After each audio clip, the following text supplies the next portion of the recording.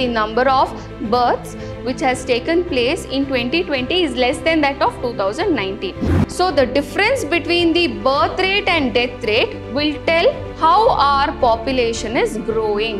In developed countries, infant mortality is very less compared to the developing countries also. The lifespan of a human is there that is more because of again medical facilities and all the modern facilities which we have.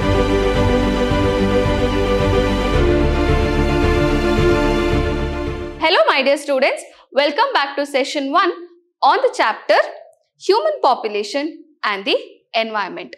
What is population? Population means a group of individuals of the same species who are living at a particular area at a given time. What is it? For example, human beings are of the same species, correct? So, if this is a particular area, okay, at a particular time, okay, how many individuals are there? If I count them, if I put together, then we call it as the population, okay. So, what is population density also we need to know. Population density is number of individuals of the population per unit area per unit volume. In one particular unit area, okay, this is 1, 1, 1, length into breadth into height, volume also if I take. In this particular unit area and unit volume, how many individuals are there? The number of individuals, number of individual if we count that is called as population density. Now if you go to the metro cities like Bombay and even places like Bangalore, in one unit area the number of people who are there, okay, number of individuals who are there is really very high if compared to other regions. Thus, we tell it is densely populated or the population density in Delhi or in Mumbai is really very high because it is highly populated area. In one particular unit area, the number of people who are living is really very high compared to any other village where you know one particular unit area there is a very small amount of people. So, where there are number of individuals are less, we call them as thinly populated or population density is really less. And in metro cities usually population density is really very high. Okay? Next is parameters affecting population. So what are the parameters which are actually affecting the population? Okay? First is the birth rate or the natality. Birth rate. What is the meaning of birth rate or natality number of live births per thousand people in population in a given year is called as birth rate. What is it? How many live births are there?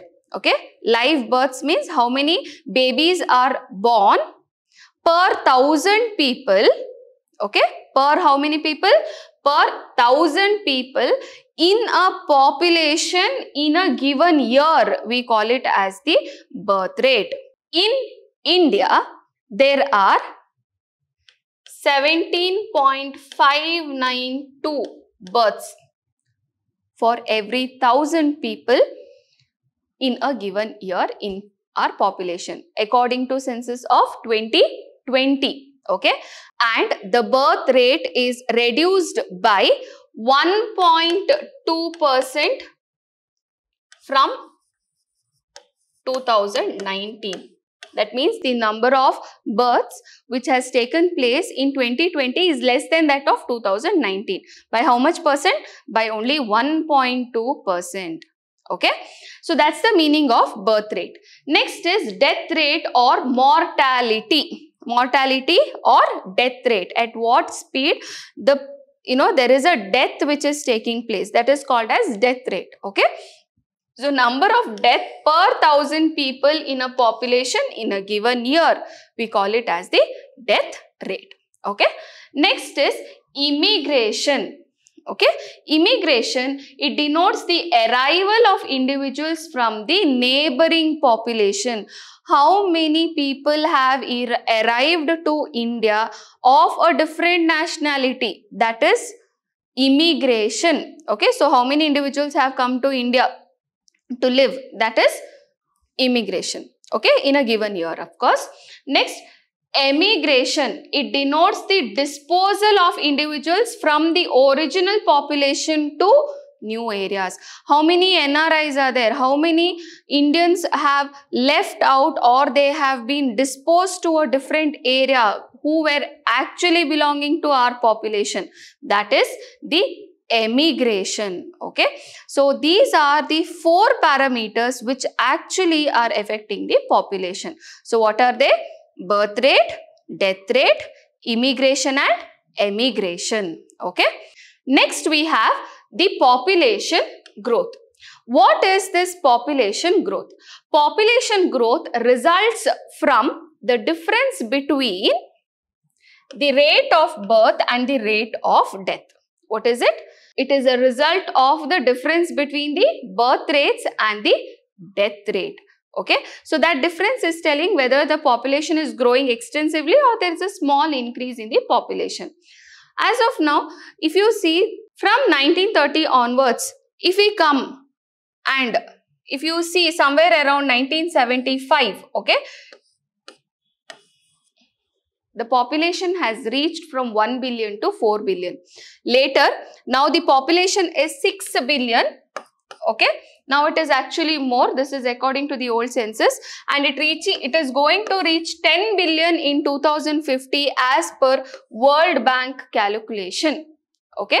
So according to the World Bank calculation in 2050 the world population, the global population is going to reach 10 billion. That is the amount of population growth that we have in the world okay next is the causes for the population growth if you see First one, due to decrease in death rate and increase in birth rate.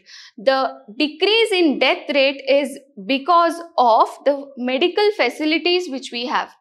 Now, if we compare the conditions which were there in the olden days and now the modern society and we have the sophisticated system, uh, the amount of medical help which people are getting, the death rate has been reduced considerably and the birth rate is actually increased and that is the reason for the population growth. Even if you see the infantile birth death rate that is the uh, newborn baby death rate if you see that is also continuously or drastically reduced because of the medical facilities which we have been uh, able to get. Okay. So, the availability of antibiotics, immunization, increased food production, clean water and air, decrease in famine related deaths and infant mortality are the main causes for reduction in the death rate and increase or I can tell the birth rate has been increased. The poverty and illiteracy led control growth of population child marriages has been reduced. Again because there is illiteracy and poverty has been controlled again you know population has uh, you know controlled in a way but then still there is child marriages which is causing the population growth. People superstition people believe that it is because of god's grace that we are going to have uh, children okay? It is because of god's grace. We are not supposed to kill any child or any fetus. This superstition is something which is responsible for population growth as well in certain parts of india at least okay? So these are some of the reasons why there is population growth. Next is about the characteristics of the population growth. First one is the exponential growth. Population growth occurs exponentially. That is, if it is 10 after a year, almost a year, it is 10 to the power 2, 100. 100 can become 1000, 1000 can become 10,000 and due to this exponential growth of the population, there is dramatic increase in the global population in past 160 years. This is one of the characteristic which we have observed. Next is the doubling time. The time required for the population to double its size at constant annual rate is called as doubling time. And this can be calculated by using the formula TD is equal to 70 by R, where R is the annual growth rate. For example, annual growth rate is 2. Then TD is 70 divided by 2. So, the doubling time will be 35. Okay. So, the doubling time will be 35 years. But if the annual growth rate is only 2.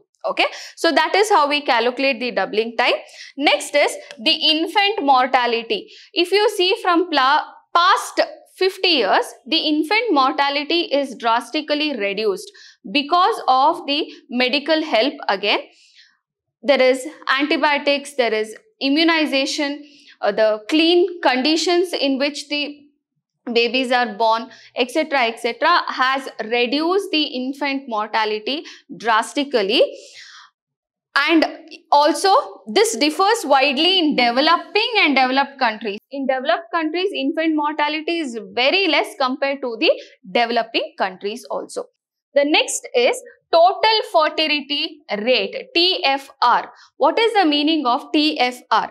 Average number of children delivered by a woman in her lifetime. So how many children a woman is delivering in her lifetime. That average if you take, we call it as total fertility rate. In developed countries, the total fertility rate is 2. That is every woman can is delivering two children. But in developing countries, you can see it is 4.7. Okay. So, you can see the difference here.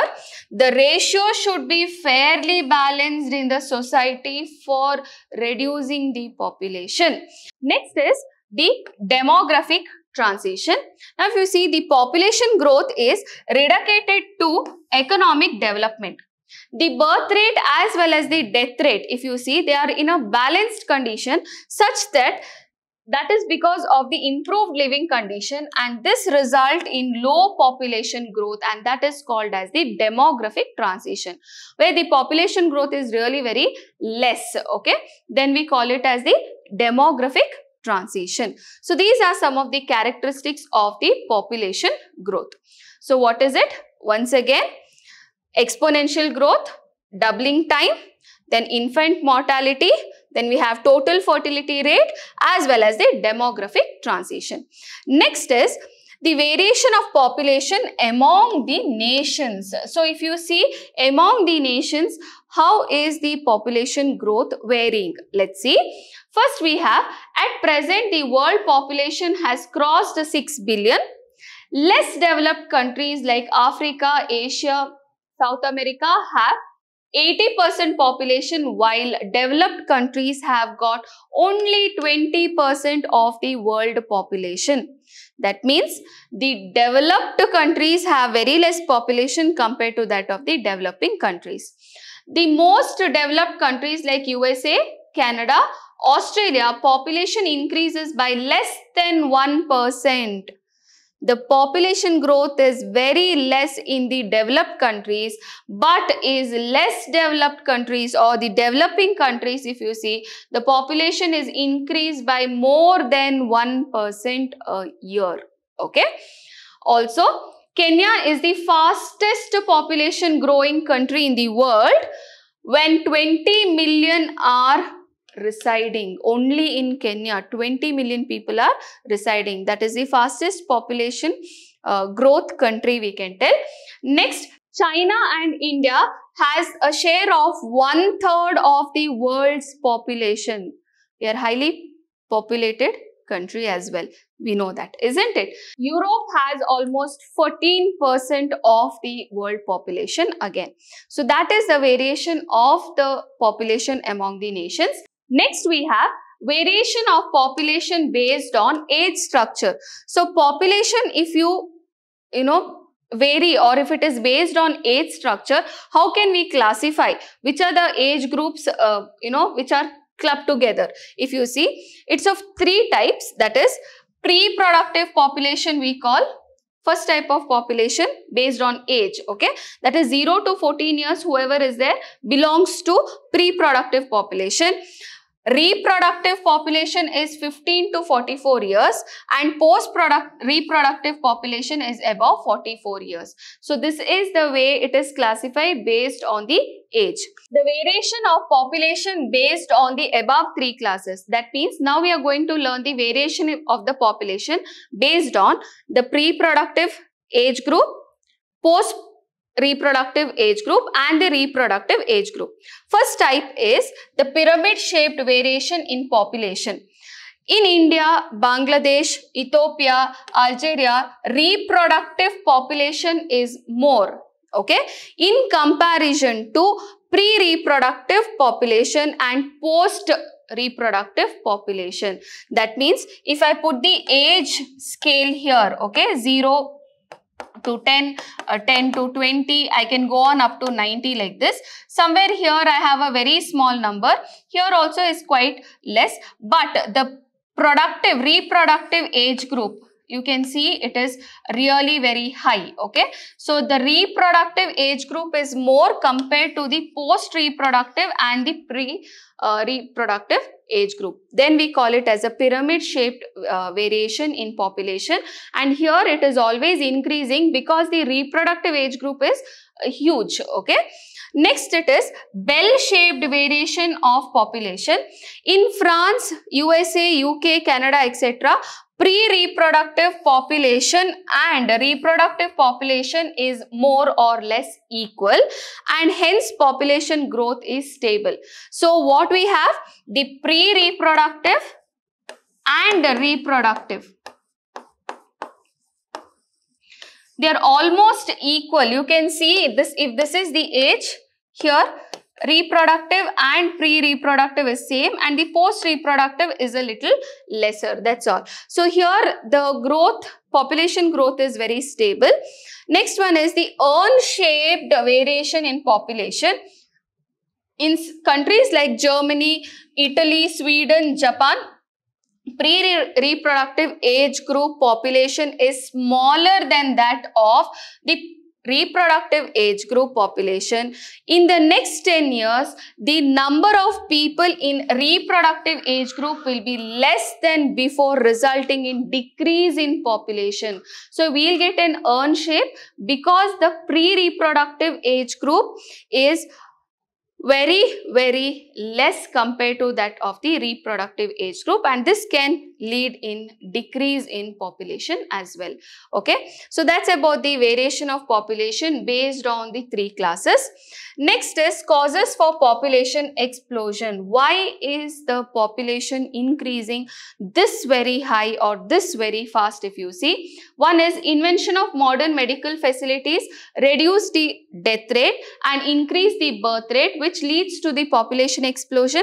Death rate is decreased, birth rate is increased. Next is increase in life expectancy in another important reason for population explosion. In 1956, the average life expectancy of a human being was 40 years, but now it is 61 years. The amount of or the number of years uh, what a lifespan of a human is there, that is more because of again medical facilities and all the modern facilities which we have. Next is illiteracy is one of the reason for population explosion. Okay. So these are the causes for population explosion. Next, if you see the effect of population explosion or what is the impact of population explosion which we have. If you see population explosion leads to environmental degradation, population explosion leads to poverty, environment is degrading around us, it is leading to poverty because of the huge population. Next, population explosion causes over exploitation of the natural resources. We are exploiting the forest resources, water resources, food resources, land resources very, very much and this leads to the shortage of resources for the future generation. And that's the reason we have to go to sustainability concept more so that our future generation will have all these natural resources intact for their use as well. Okay? Next increase in population will increase diseases economic equity and also command wars as well.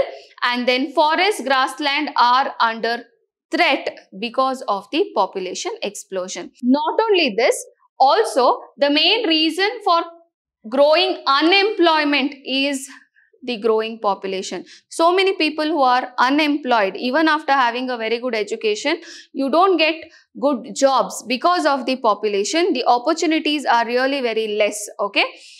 Educating vast population is a very big task about population control or population growth. Population explosion is a main cause for pollution of the air, land, water as well as noise pollution, disposal of plastic and wastage is another problem because of our overpopulation. Scarcity of fuel is also due to the population explosion. So you can see population, huge population is having all these problems. So if I go to the root of all the problems which we are seeing in and around us, the degradation of the environment, the pollution, uh, you know, unemployment, poverty, all of this, the main reason if you see it is because of our growing population, isn't it? So, I hope you have understood about the population explosion, what are the causes, how there is a variation in population. So, thank you my dear children. Stay tuned for more updates.